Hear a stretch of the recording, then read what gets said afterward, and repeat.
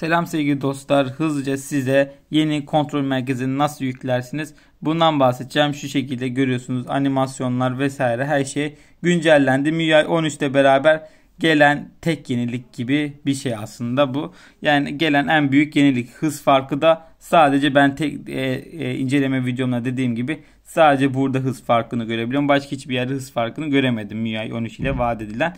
Şimdi bunu nasıl yükleyeceğiz? İlk olarak şunu söylemek istiyorum.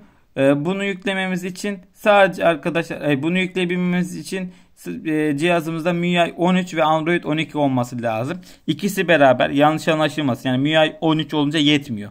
Hem MIUI 13 olacak cihazınız hem de Android sürümünüz Android 12 olacak.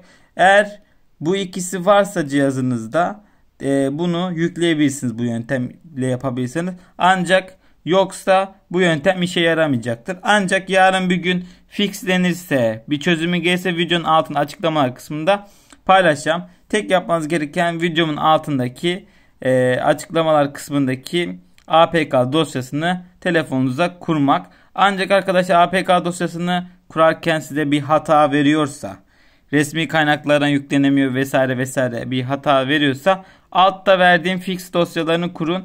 Ondan sonra Bunları kurun e, ve yeni kontrol merkezi karşınıza çıkacaktır. Tekrardan söylüyorum Android 12 ve MIUI 13 olacak. Hoşçakalın kendinize iyi bakın bay bay.